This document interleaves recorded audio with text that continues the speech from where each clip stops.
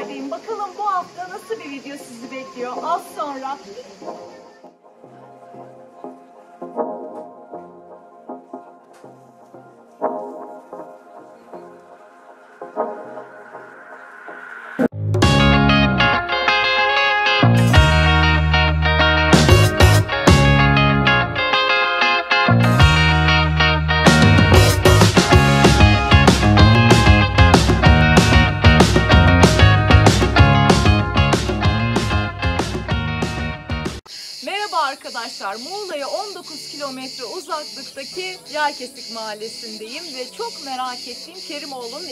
geldim. Fakat bugün kapalı. Ben niye bir yerleri hep çekmeye kalktığımda kapalı oluyor? Çünkü evi aynı zamanda müzesiydi ama turist içinde işte çay içebileceği, kahve içebileceği avluda yeri vardı. Kerimoğlu türküsünü bilirsiniz arkadaşlar. Şimdi bir tane abla buldum. Ondan rica edeceğim. Şöyle de size bir bahçeyi çekerim ama kolum uzundur. Ama yapacak bir şey yok. İçeriği gösteremiyorum maalesef. Ama hikayeyi dinlemek isterseniz bizzat ondan dinlemek isteriz. Arkadaşlar normalde 9 ile 6 arası Muğla tarafındaysanız Yerkesik mahallesine uğrayın. Yerkesik mahallesi daha önceden de söylediğim gibi Muğla merkezi 19 kilometrede bir mahalle. Akyaka'ya inerken hemen sağda zaten tabelayı görüyorsunuz. Burası da Kerimoğlu'nun evi. Abla sen bize hikayeyi anlat madem buralısın. Değil mi? Buralısın. Anlatayım. Bildiğimi, duyduğumu, okuduğumu anlatayım size. Tamam sağ, sağ olasın. Kerimoğlu 1901 yılında bu evde vurulup ölüyor. Hı hı. Öncesi de 1882 doğumlu zaten. İleride Yeşilyurt diye belde var. Pisi, eski ismi Pisi, oralı. Hı hı. Orada ağlarla kavgaya karışıyor. Kavgada inekler darı tarlasına giriyor. Darı tarlasına girdi diye kavga oluyor. Bu olayın üzerinden biraz yatışıyor. Sonra da köyde düğün oluyor. Hmm. Düğünde de zeybek oynandı mı bizim buralarda? Bir grup oynarken başkası çıkarsa saygısızlık hakaret anlamına gelir. Düğünde de kavga çıkarmak için ağların üzerine oyuna kalkıyor. Ve oyunda silah falan çekiliyor, kavga büyüyor. Ondan sonra annesi diyor ki Kerimoğlu da fakir bir aile. Hı hı. Annesi diyor ki sen oğlum burada yaşatmazlar, Bodrum İstanbul köye gönderiyor. Hı hı. Öncesinde de bu evin kızı Sarı Sultan keçi çobanı. Onlar birbirlerini dağda görmüşler, sevmişler. Aşıklar. Aşıklar birbirlerine.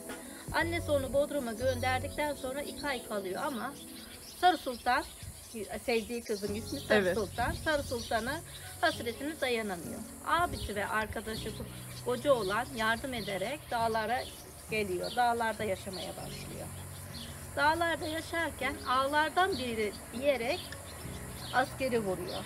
Bu sefer de suçlu duruma düşüyor. Hayda işe bak. Evet. Vallahi.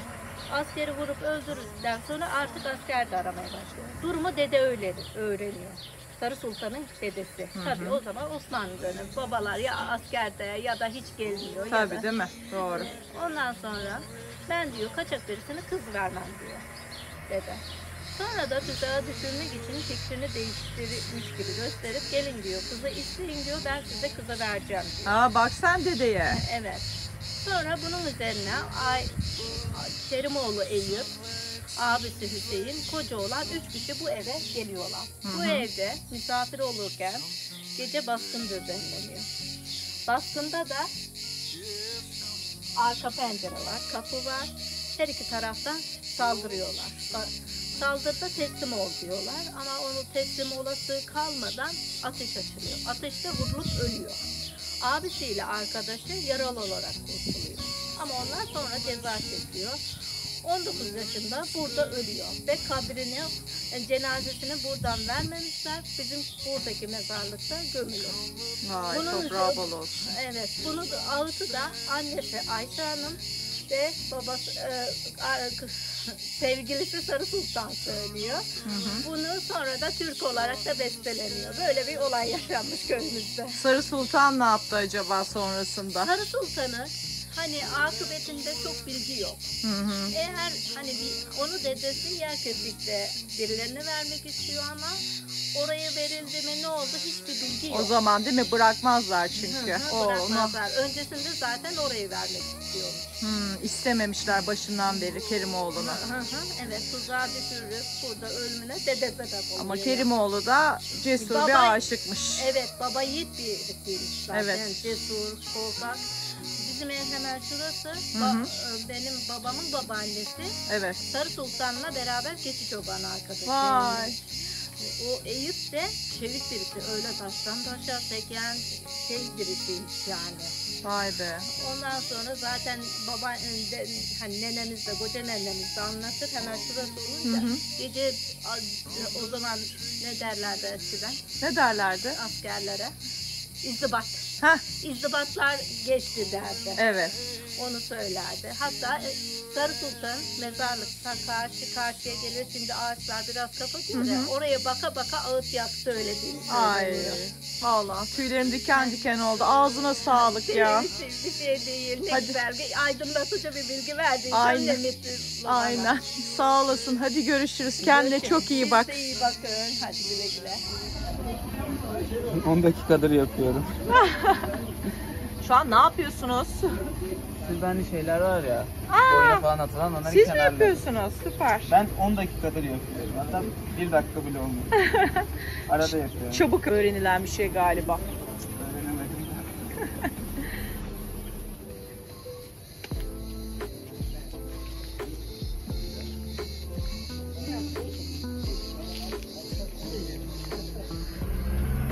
Arkadaşlar biraz önce röportaj yaptığım ablanın sanırım şöyle bir ufak satış yeri var. Annelerim gitti oradan bir şeyler alıyorlar. Bakalım neler satıyor. Senin mi bu tezgah ablacığım? O erişten O yirmi var. Erişteleri kaça satıyorsun? 25 paketleri. Şey e, ne? Is- domates, pancar, ıspanak, karışık, sade. Hepsi doğal renk. O pancar ve sebzeli süper. Şunlar ne abla merak ettim. Bak şimdi Şunları merak ettim. şu kudret narı, Kudret narı. bu Hmm. pantolon yağı, bu lavanta yağı, şu çam balı. Aa kantaron yağı şeye yanağa iyi geliyordu değil mi? Peki sen mi yapıyorsun kendin Evet bizzat? kendim kendim. Kantaron yağını nasıl beceriyorsun yapmayı yahu? Kantaron otunu topluyorum. Aa ne Onu güzel. şey, süzdürüyorum. Şey kuru halde kavanoza koyuyorum. Üzerine zeytinyağı dolduruyorum. Hı hı. Güneşte bekletiyorum. Şimdi bu yıl da hem güneş ayrı, gölge ayrı yapıyorum. Oo süper. Eline sağlık valla. Elindeki ne? Bu kekikli soyu. Ha, mideye iyi geliyordu o değil Evet, mi? Da bir elma sirkesi. Bunlar da kendi Oo her şeyi yapmışsın. Yalnız var ya tezgahında en çok sevdiğim şeyi göstermek istiyorum seyircime. Arkadaşlar bakar mısınız? Nohut, bulgur. Ha Efe. Ve sevgili Mustafa Kemal Atatürk'ün de Kerimoğlu türküsünde Sarı Zeybek yapışından bir kare. Kerimoğlu evi hatırası diye de magnet satıyor. Biz de bir tane magnet alalım o zaman.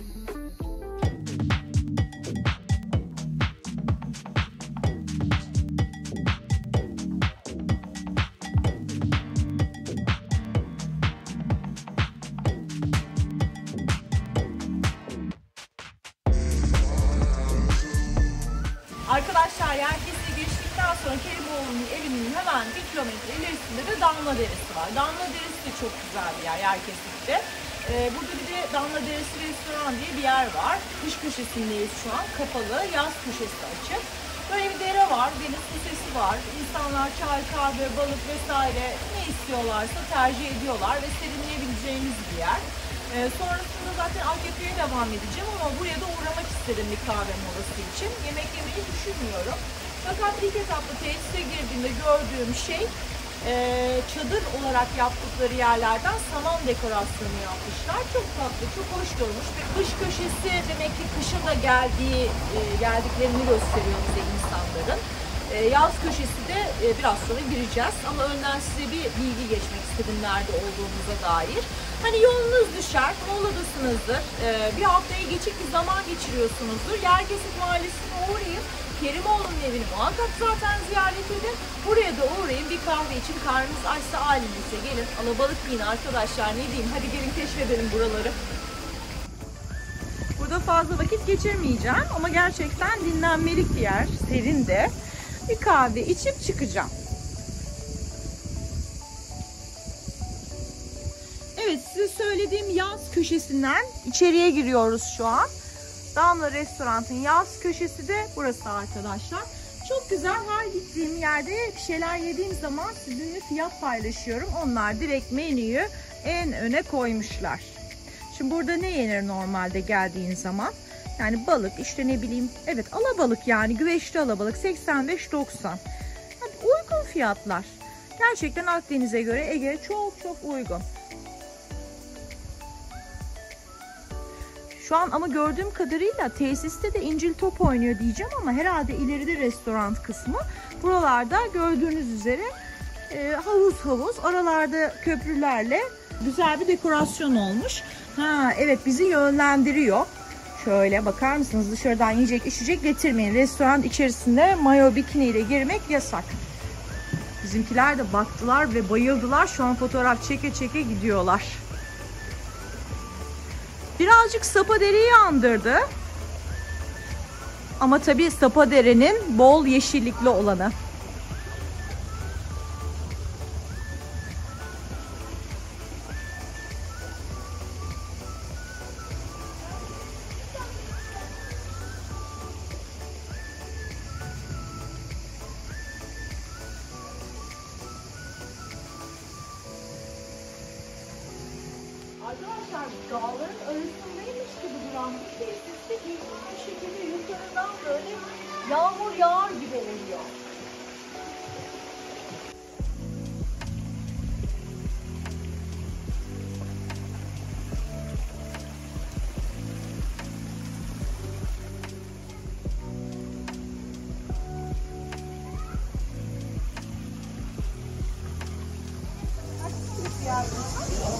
Burası? 114 kişi alabiliyor. Ee, kışın açık galiba, kış köşeniz var. aşağısı var, orası 150 150 kişi. Organizasyon falan yapıyor mu insanlar burada kışın? İnsan doğum günü tavsiyeleri olur. Yılbaşındaki Kışın da alabalık vesaire yiyebiliyor musunuz? Peki şu an mesela bir şey yiyecek olsam ne önerirsiniz? öneririm ben size. Tepsi kebap öneririm. Et çöker Testi kebabı. Hmm, şey, kırıyorsun değil mi onu? Yani. Ha, okey. Ama Kapadokya hamuru, yemiştim hamuru ama. var. Hamurunu seçiyorum. Öyle tercih ediyorum. Aa, okey. Ama ben kahve içmeye geldim. Tabii. Bir de buraları çekeceğim. Tabii. Kolay gelsin size. Arkadaşlar gelin.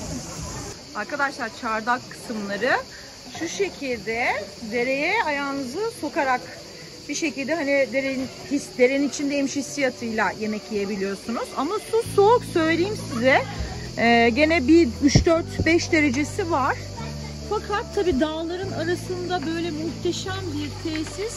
Hani bekler misiniz? Hayır beklemezsiniz. Çok güzel olmuş. 2016 yılında e, burası e, hizmet vermeye başlamış. Biz şimdi bir kahve içeceğiz. Arkadaşlar geldiğimiz yol e, normalde mağara olarak geçiyor. Yüzyıllar boyunca Sarkıt ve Dikitler bir şekilde orada bir e, şema, şemalaşma oluşturmuş. Mağaranın girişinden girip bu tesise ulaşabiliyorsun. E, Valla şehrin o, kalabalığından, stresinden uzaklaşmak isteyenler buraya bir şekilde bulup geliyorlar. Çok kalabalık değil e, ama kafa dinlemek için ideal bir yer. Tabii ki çok çocuklu e, ailelerin yanından uzak oturmalısınız kafa dinlemek istiyorsanız. Biz şimdi e, o gösterdiğim çardakları değil de masayı tercih ettik.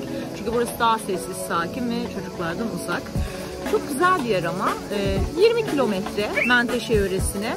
E, aklınızda bulunsun. Hani Muğla tarafındaysanız, Menteşe yöresindeyseniz e, işte Ula, Akyaka vesaire gezerken buraya da muhakkak uğrayıp bir şeyler atıştırabilirsiniz. Fiyatları da gördünüz zaten çok uygun.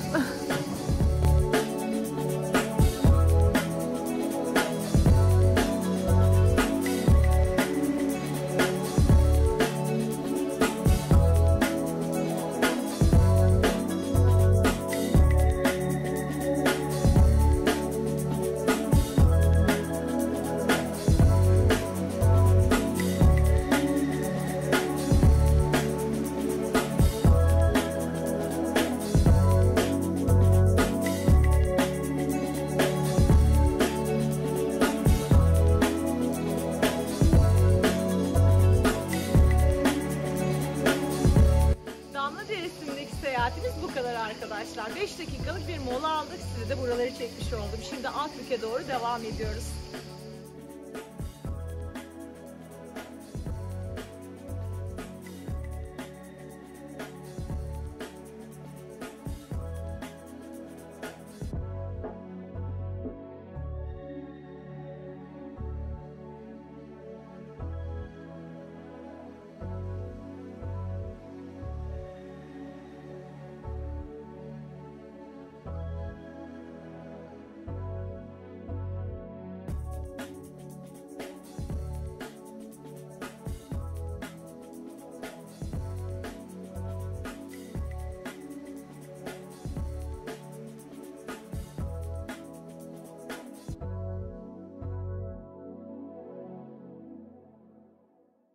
Ege'nin incisi Akbük'teyiz arkadaşlar. Gerçekten muhteşem bir yer. Hafif hava bulutlu, arada güneş çıkıyor. Çadır alanları var, butik oteli var, minnoş minnoş çarşısı var. Ve tıklım tıklım insan olmasına rağmen muhteşem, berrak, temiz bir denizi var. Şahsen suya atlamamak için kendimi zor tutuyorum ama çok kalabalık. Covid-19 halen daha devam ettiği için burada çok fazla durmayıp karnım da acıktığı için çok güzel bir gözlemeci var. Oraya gitmek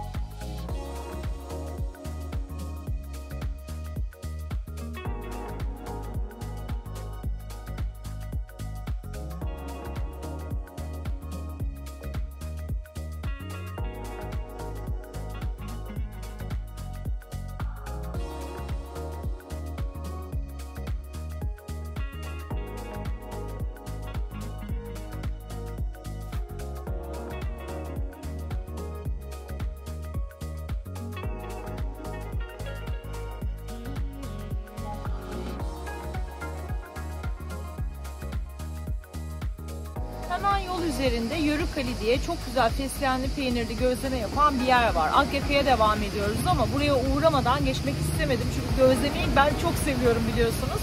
Dalga seslerini duyuyorsanız eğer burası tam dinlenmelik ve meditasyon yapmalık bir yer.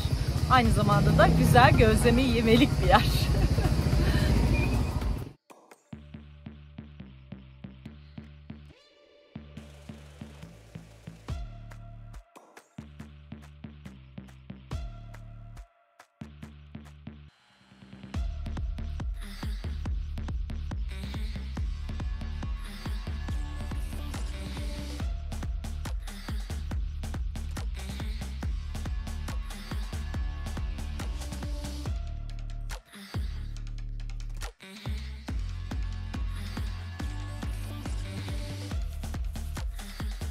Girer girmez ormanın o büyülü havasını ve Ağustos böceklerinin sesini duyuyorsunuzdur eminim ki.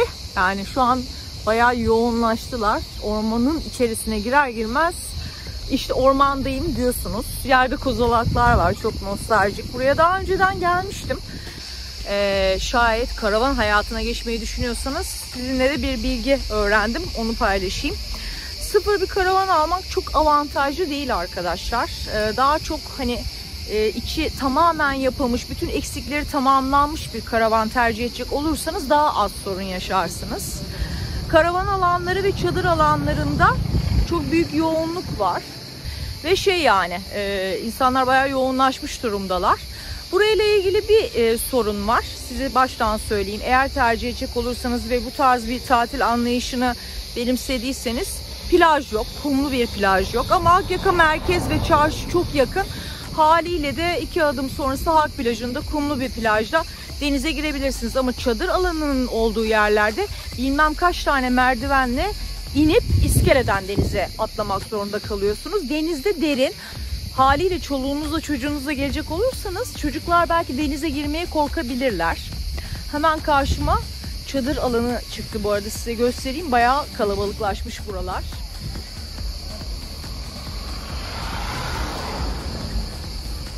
Buradan sezonluk yer kiraladıysanız arabanızı da içeriye sokabiliyorsunuz.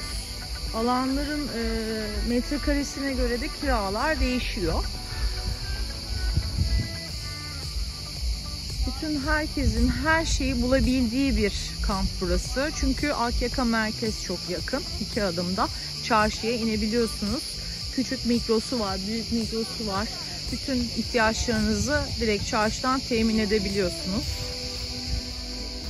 Gördüğünüz üzere kamp alanında e, genç yaştan e, orta yaş üstüne kadar herkes var. Hemen hemen herkes kendi evcil hayvanlarıyla birlikte her yaş gelmiş ve burada tatil yapmakta.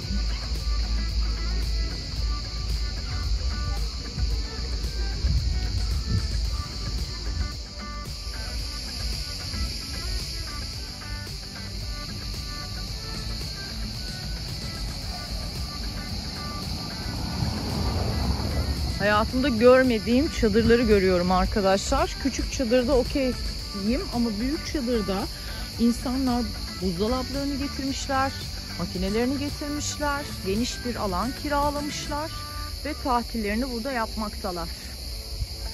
Küçük çadır bölgesi daha mütevazi, daha küçük çadırların olduğu bir yer. Ee, hani daha e, minnoş minnoş takılıyorlar. Burada kalabalık olunca arkadaşlar bir handikap daha var. Açık havada tatil yapmak evet güzeldir, hoştur çadırınla ya da karavanınla ama çadırda kalanlar için çamaşır yıkamak ya da tuvaleti kullanmak ortak oluyor. Tuvaletlerde haliyle çok dolu olabiliyor. Etrafta da e, sokak köpekleri var. Hani korkuyorsanız eğer ya da çocuklarınızın korkabileceğini düşünüyorsanız dikkat edin.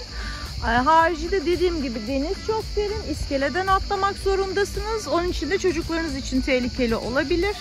Deniz bakımından da hani elimin altında deniz var diye düşünmeyin.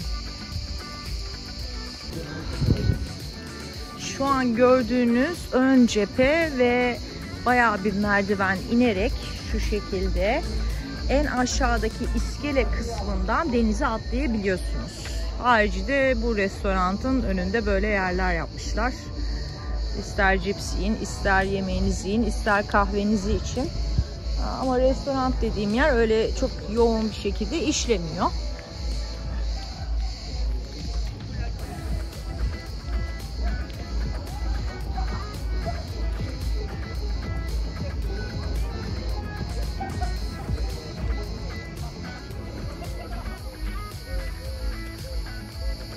Kişi ama gelmiş çadırını kurmuş. Gerekli yerleşkesini yapmış.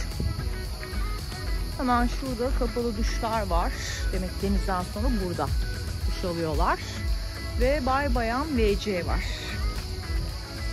Uzun bir yürüyüşün ardından yavaştan çıkışa doğru gidiyorum. Gerçekten çok yorucu bir gündü benim için.